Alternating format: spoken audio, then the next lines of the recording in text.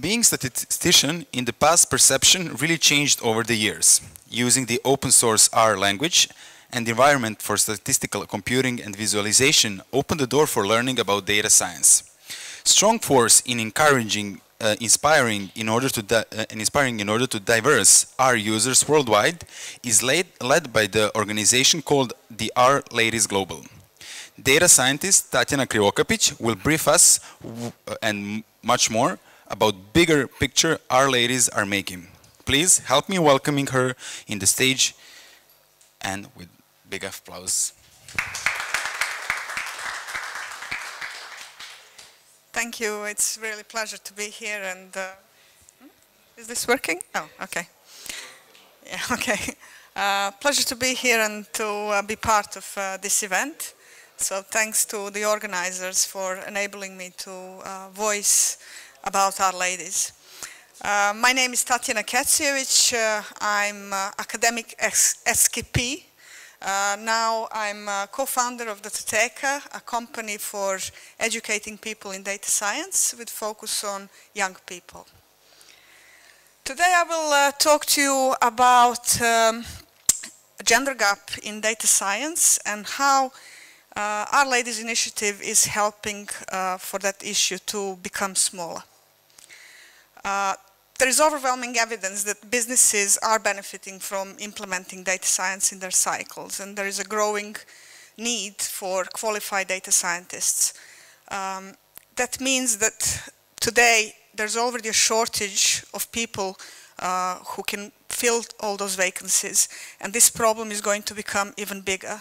Uh, this is relatively new um, science, and um, that also at the same time present great opportunities for youngsters. Uh, so uh, they should be really pointed out to data science as an opportunity for their future jobs, future uh, job career. So the question is how the government, educational authorities, uh, businesses can really help this uh, uh, happen for youngsters to realize those opportunities that are ahead of them. Uh, and also at the same time, uh, we can't forget and uh, ignore current workforce. So therefore, the people who are already in workplaces, they need to upskill their knowledge and be able to embrace new technologies in their uh, workflows. As I said, uh, there is a large gender gap in technology and science, uh, data science, therefore, and there are studies showing that only just over a quarter of uh, workforce is taken by female in data science industries. And women are twice more likely than men to quit high-tech positions. So where does R fit into all of this story? Uh, well, somebody who's a R user, uh, I clearly will have to advocate that it's most sophisticated data analytic programming language and considering that it has statistics in its DNA, it's not uh, a surprise that it's becoming the tool of choice for many data scientists. Uh, it's uh, providing flexible environment for easy experimentation and statistical modeling. Uh, and it's nice about R, for those of you who perhaps uh, haven't experienced using R uh, for their data science, is through R you can literally mirror the way you think about certain statistical problems and you can easily communicate that to a specific target audience. So apart from all those great things that R provides, one of the greatest things about R it is com its community. Um, R Consortium, uh, which is a foundation uh, that supports um, uh, our community, has uh, open um, survey last year, uh, has had open survey last year, and uh, the survey was open from July, uh, early July last year till end of August, and they have gathered uh, profiles of R users.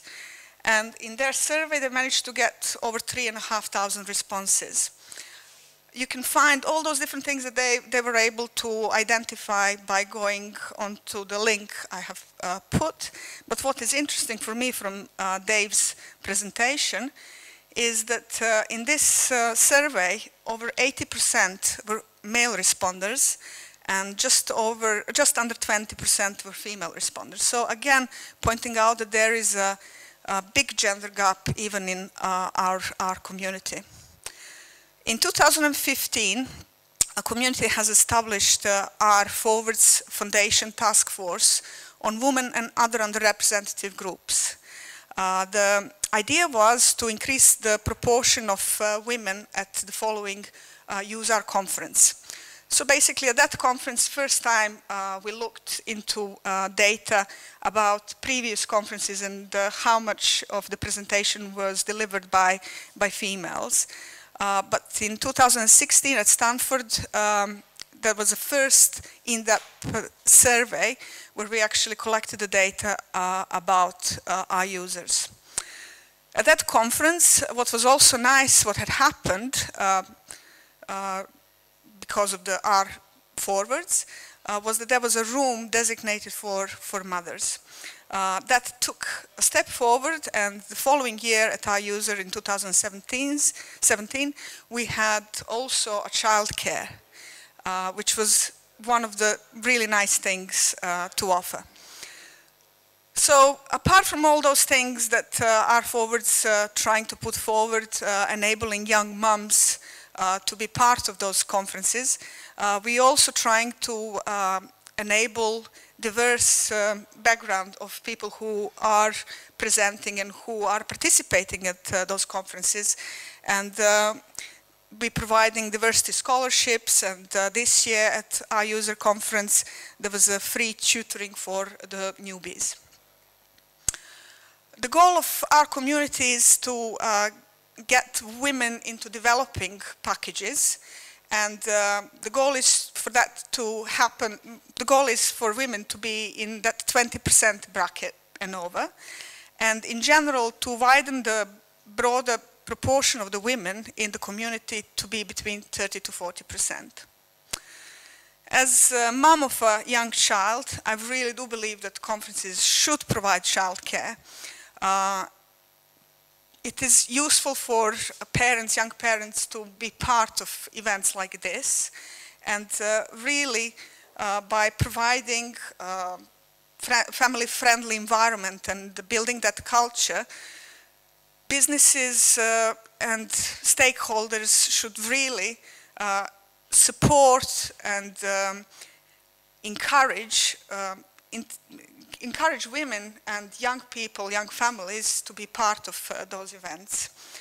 Um, in, and also, it's not just to encourage people to be part of those events because they perhaps would be stopped because of their young families, but also uh, with building that kind of a culture, you enabling women uh, to return back into their discipline and to be still part of what's going on rather than sitting at home and uh, looking after their, their children. In terms of um, Forwards initiative, I would also point out that uh, uh, we're not just uh, following uh, the broader uh, aspects of how many people uh, are part of the community and providing scholarships, but we're also very active in developing teaching material and running the workshops for youngsters with a focus, of course, on women and young girls. And last weekend here in Belgrade, we had started a new initiative uh, called Click R, where we were teaching uh, youngsters between 13 to 18. And we had a great response, and clearly there is a big hunger for children to learn this kind of stuff. So how can you join? If you're a woman, I would suggest you should join R-Ladies if you haven't already uh, and you should put your name down into R-Ladies directory. But everybody else, really, uh, they need to be aware of other women's uh, contributions, invite women to participate and promote welcoming culture. So in terms of R-Ladies, uh, what they are, they're global organization, they're worldwide organization that promotes diversity in our stats community via meetups and mentorship in a friendly and safe environment. Uh, the goal is to promote R and exchange knowledge and create our community among women, but not exclusively just for women, but everybody who is underrepresented, like LGBT, uh, and also anybody who wants to support those kind of initiatives. Our mission is to get more women into developing new packages and clearly to uh, have more participants, female participants in the community. How did it all start? Uh, in 2012, uh, Gabriela has noticed that uh, in, um, at uh, user conference in Nashville, there were only a few of us presenting uh, as females. And she was wondering why was that the case. So she came up with the idea that perhaps we can start a new initiative, such as R-Ladies. And the first meetup uh, was run in 2012, in October 2012, in San Francisco. After that, the next one was uh, a couple of years later in uh, Taipei, and then Town City, and then finally early March 2016 in, Lon in London.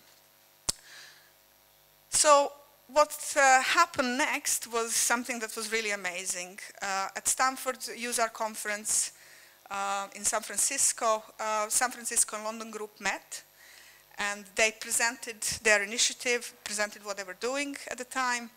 But um, what also had happened, R Consortium uh, had uh, funded R-Ladies with the idea that this group is going to grow and we expected to get five to ten new cities within a year.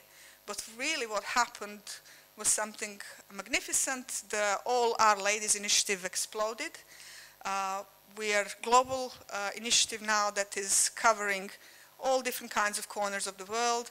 Uh, at our Twitter account, we have over 7,000 followers. Uh, you can find our uh, R-Ladies website with all the information about the events that we are running, with the directories of the cities and chapters where R-Ladies exist, and also R-Ladies presenters.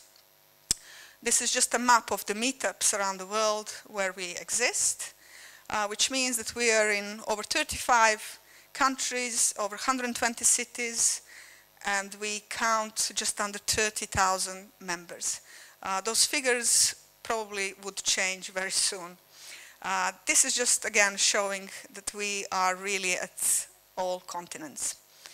What is really nice about R-Ladies is uh, as you travel around the world, you can uh, meet with all those different chapters and uh, do the presentation and exchange knowledge. So it's not just within your chapter, within your town, but rather it's a global initiative and therefore uh, you can join in wherever you, you really go. You should look into onto our website and see uh, the place that you're visiting is the place that you're visiting perhaps uh, hosting some of those Our Lady meetups and you should join.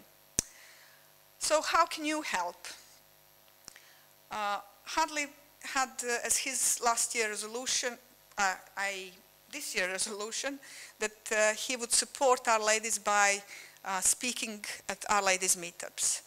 so this year he's done several meetups and last night we had the honor to have him uh, at our meetup and we could uh, see um, directly uh, from Hadley how to do some coding and how to do uh, analysis of a little open data set. Uh, in terms of if you're a business and you like the idea of uh, supporting initiatives like this, we are always welcoming sponsors who can provide free venues.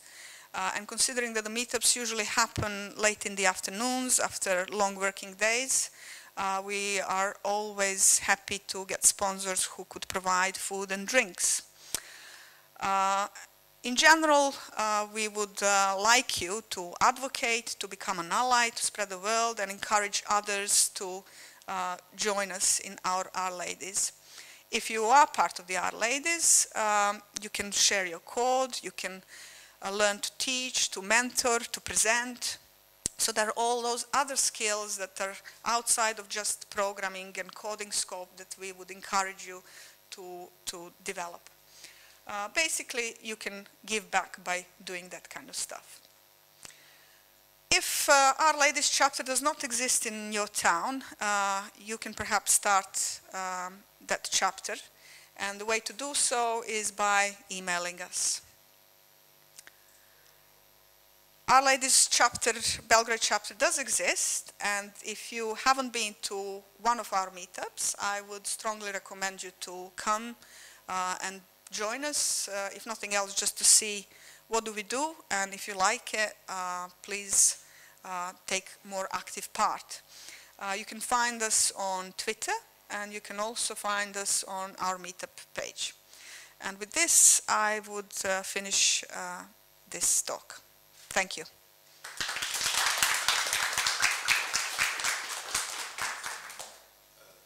I have also, just a quick, I have also included a few links uh, regarding women in data science that you might find useful. Okay, um, thank you for the presentation. Um, I hope you have uh, questions. So do we have a question? Mhm. Thank you. Uh, I saw that you started your uh, R-Ladies, uh, can I say organization, in Belgrade. Have you considered opening in other towns, cities? Actually, uh, my first chapter was in Manchester, where I lived. Uh, recently, I moved to Belgrade, and I've joined the chapter that was uh, formally uh, in place, but really the meetup started uh, last December, so it was a bit sporadically, and now we really kind of are getting into a swing and a machine where we have got more ladies who have joined us and who, who feel confident to take over and to mentor and to deliver workshops, etc., etc. Uh, I'm asking this because uh, I participated in organization of Rails Girls, Yeah. and we started recently in Zrenjanin. Uh, that's the city where I study.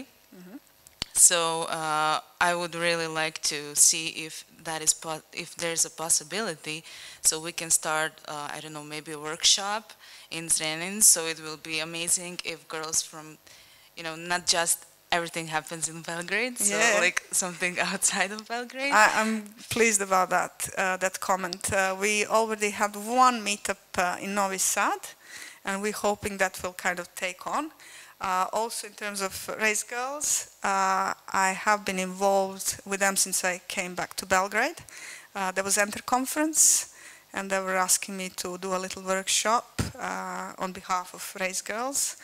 Uh, and we are hoping to actually uh, organize some meetups together uh, because you can also create websites in R. So R is not just tools for data analysis, but really a data science tool that enables you to write reports, to create websites, um, and all those things that you need when doing data science. So there are many aspects that are really touching with the community you're part of. So that would be great, and I would really like to see that spreading around Serbia. Me too.